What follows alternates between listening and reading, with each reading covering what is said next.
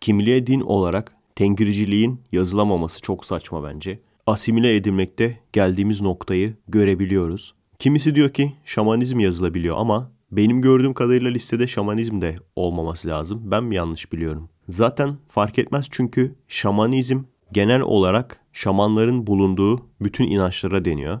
Yani Kızılderililerde falan da şaman var. Bu şeyler oluyor ya işte. Şamana gidiyorlar. O da diyor ki ruhlar alemiyle iletişime geçmem lazım. Bir Kore filminde de görmüştüm. Orada da varmış şamanlar. Ruhlar alemiyle iletişime geçmem lazım diyor işte. Yok sizde büyü var. Büyüyü bozduracağız vesaire. Cinci Hoca'nın biraz daha değişik bir versiyonu. Sonra bazı halüsinojenler içiyor. Onu içtikten sonra ruhlar alemine gittim geldim diyor. Tengriciliğin direkt mitolojisi var. Yaratılış hikayesinden tut çeşitli tanrılarına kadar ya da işte efsanelerine kadar bir sürü miti, bir sürü destanı var. Ve maalesef bunların çoğunu biz bilmiyoruz. Gerçekten bu olay beni sinir etti. Bir sürü bizim özel günümüz var. Mitolojimiz var. Bayram vesairesi var. Bunların hiçbirini bilmiyoruz. Ama sorsan İslam'ı zaten geçtik. Kur'an'ı zaten okuduk da onu zaten biliyoruz. Bir de tartışıyoruz vesaire de. Bir de üstüne Tevratları, İncil'leri falan da biliyoruz. Oradaki hikaye işte Tevrat'ta geçen hikayeleri falan da biliyoruz. Onlarla ilgili tartışıyoruz falan. Asimile olmak bu herhalde. Bu beni gerçekten üzdü arkadaşlar bu olay. Yani neredeyse hiçbir şey bilmemek tengricilik hakkında çok kabaca. Tengricilikle ilgili bir yazı yazmışlar. Tengrici bir sitede. Onu okumak istiyorum. Diğer dinlerden farkı, diğer inanışlardan farkı. Ve bu konuda biraz araştırma yapıp şu anda tabii ki film üzerinde çalışıyorum. O yüzden ne kadar araştırma yapabilirim bilemiyorum ama kaynak verebilirseniz sevinirim. Ya da bunu bu şekilde detaylı anlatan bir belgesel zaten var. O da bu derseniz sevinirim. Yoksa bile bir şekilde yapmak istiyorum. Şu an zaten editörlerimiz de var. Ben ona şu anda vakit ayıramam ama dediğim gibi en azından bazı yerlerden bilgi toplarım. Onları okurum. Editörlerimiz de bununla ilgili video yapar. Gençlerimiz de Türk mitolojisini, Türk kültürünü öğrenmiş olur böylece. Şu an diyorlar ki din hanesini boş bırakabilirsin. Ben boş bırakmak istemiyorum. Çünkü kendi kültürümden, kendi mitolojimden, kendi geleneklerimden ayrılmak istemiyorum. Şamanizm varsa bile şamanizm de yazmak istemiyorum. Çünkü şamanizm tengricilikle aynı şey değil. Önce tabii ki kendimizi öğrenelim. Kendimizi öğrendikten sonra bunun çalışmalarını yaparız. Yani gerçekten Türkiye'de olup da dini inanca tengricilik yazamamak çok büyük bir ayıp. Ve dediğim gibi ben boş bırakmak istemiyorum. Dinlerin doğru olmadığını bildiğim halde arkadaşlar, şunun da farkındayım. Ülkenin bir ortak kültürünün olması, ortak bayramlarının olması, ortak sembollerinin olması, ortak özel günlerinin olması.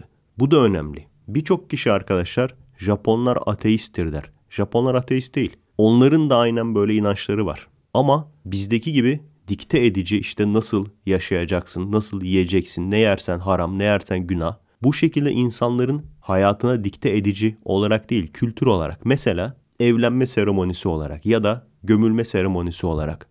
Babam Türkçü birisi olduğu halde, deist olduğu halde Arap gelenekleriyle gömüldü. Orada Türkçü olan babamı Arapça dualarla gömerlerken orada karar vermiştim. Demiştim ki ne yapacağım edeceğim ben Türk gelenekleriyle gömüleceğim. Ve isteyenlerin de Türk gelenekleriyle gömülebilmesini sağlayacağım. İşte bu yüzden önemli. Din hanesine tengri yazmak ve tengriciliği yaymak. Çünkü tengricilikle Arap dinlerini karşılaştırdığımız zaman neyse bir şey demiyorum okuyorum ben sadece. tengricitürkiye.blogspot.com sitesinden okuyorum. Ulu Tengri Türklerin ve bütün yaratılmışların tengrisi, yaratıcısı, koruyucusu ve sahibidir. Tengricilik dini de Türk'ün doğa ve felsefe üzerine olan düşünüş ve tecrübelerinden meydana gelmiş milli dinimizdir. Bu arada şeyi söylemeyi unuttum arkadaşlar. Hani Japonlar gerçek hayatlarına sokmuyorlar ama gelenek olarak yaşıyorlar dedim ya. Yine mesela hayatlarında iyi bir şey olduğu zaman gidip işte kendi tapınaklarına teşekkür ediyorlar. Ne bileyim tütsü yakıyorlar. Böyle basit şeyler yani. Anlatabiliyor muyum? Bunu gerçek sanıp da böyle adam Shintoist mesela Shinto de Shinto de Shinto Shimshun diye böyle ezberlemiyorlar. Shinto kurslarında birbirlerini neyse. Devam ediyorum okumaya. Bugün İslam, Hristiyanlık, Budizm gibi güçlü ve baskıcı dinler bütün dünya insanlığında büyük etki ve itaat kültü oluşturmuştur. Bu sözler yanlış anlaşılmamalı. Tengricilikte hiçbir dini, hiçbir peygamber ve kitabı aşağılamak, bunlara hakaret etmek kesinlikle yoktur. Güzel, 1-0 öndesin o zaman. Daha önce de görmüştüm bunu arkadaşlar. Yani tengricilikte eğer ki bana inanmıyorsan cehennemde yanacaksın veya başka bir inanışa sahipsen cayır cayır yanacaksın diye bir şey yok. Neyse devam edelim. Ancak bu saydığımız dinler insanın bütün bir yaşamını etkileyip kontrol eder. Devlet yönetimini, ne giymesi gerektiğini, ne yemesi, ne içmesi, kiminle evlenmesi, nasıl konuşması, ne yapması. Bu liste uzarda gider. Yani hayatınız baştan aşağı kabul ettiğiniz dinin kalıbına girer. Sizin özel ve özgül alanınız bir avuç kalır. Siz, siz değilsinizdir. Kul, teslim olmuş, keşiş. Tengricilik dinine geçmek için özellikle Müslüman Türk kardeşlerimiz attan inip eşeğe binmek misali bir yaklaşım sergilemekteler. Yani İslam güçlü ve terk edilemez. Tengricilik ise ona nazaran oldukça uyduruk ve basit bir din. İnsanları böyle düşünmeye iten şey ise bu dinin hayatlarını yeterince kontrol etmiyor olması. Evet, Tengricilik benim şahsi tespitime göre insanın kendi dinini kendisini yaratmasına bile müsaade edecek genişliktedir. Yani bir tengrici olarak dilediğiniz gibi ibadet edebilir, dilediğiniz yerde, dilediğiniz şekilde Tengri adına iyilik yapabilir, dua edebilirsiniz. Bir din adamına, otoriteye, binaya, kıyafete bunların hiçbirisine ihtiyacınız yoktur. İhtiyacınız olan tek şey yüreğinizden dolup taşan huşudur.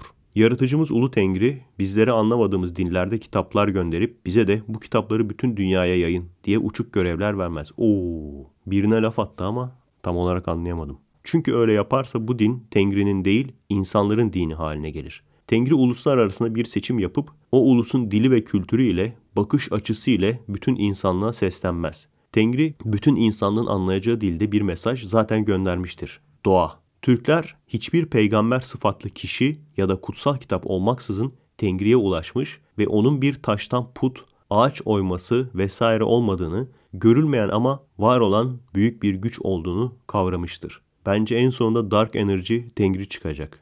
De bilim adamlarının keşfetmeye çalıştığı karanlık enerji meğer Tengri'ymiş. Araya şunu sıkıştırayım arkadaşlar. Star Wars'daki birçok mantıksızlığa ben mantık ekledim. Force denilen şey var ya, Force denilen şeyi karanlık madde ve karanlık enerji ya da bunun kombinasyonu olarak düşünürseniz hepsi mantığa uyuyor. Uzay yerine karanlık madde var ya da karanlık enerji var. Onu force alarak kullanıyorlar. O yüzden boşluk içinde olmadıkları için uzayda uzay gemilerinin sesi de çıkıyor. Çünkü normalde uzay gemilerinin sesinin çıkması mantıksız. Ve mesela The Last Jedi'da şey uzaya düşüyor ya Leia ama ölmüyor geri geliyor. Yine aynı sebepten dolayı. Çünkü boşluk yok, force var. Zaten düşünecek olursanız Star Wars'da astronot kıyafetiyle uzaya çıkan kimseyi görmedim ben daha. Neyse bu mantıklı konuşmamızı da buraya sıkıştırdık. Ciddi alıp tartışabilirsiniz. Biz yazımıza devam edelim. Kitap ve peygamber olmaksızın da Tengri'yi bulmak mümkünse neden Tengri adına Allah, God, Huda bize başka insanların hükmetmesine, sömürmesine izin verelim? İşte tam da bu yüzden Tengricilik attan inip eşeğe binmek değil, aydınlanmaktır. Tengricilik neye inandığından emin olmak, bilme ve doğaya saygılı olmak, destekliyor olmaktır. Yine mesela Japonların kültüründe de. Gittiğin zaman adamlarda şöyle bir şey yok mesela. Bilimsel olarak şunu bulduk. Din adamları itiraz ediyor. Hayır olamaz. Çünkü bizim inancımıza ters. Böyle bir şey yok. Engellemiyor yani. Bilim, doğa, gerçek adamların inanışını engellemiyor. Yani bilim tarafından engellenmeyen, bilimin çelişmediği inanışlar da var, kültürler de var. Çoğu kişi zaten sembolik olarak buna inanıyor. O da belli bir şey.